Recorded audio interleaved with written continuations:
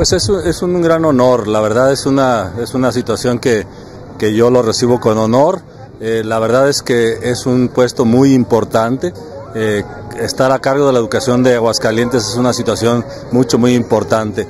Yo esperaría que la gobernadora eh, decida la persona que, que- sea y yo estaría apoyando desde luego la decisión que ella tome desde el lugar donde esté, sea en el Congreso del Estado, sea en mi plaza, donde sea.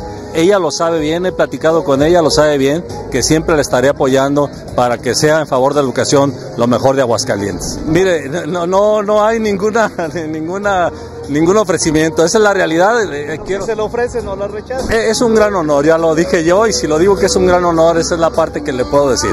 Si es, eh, yo simplemente el ser nombrado por eh, usted o por alguna otra persona, la verdad es que para mí es gran honor.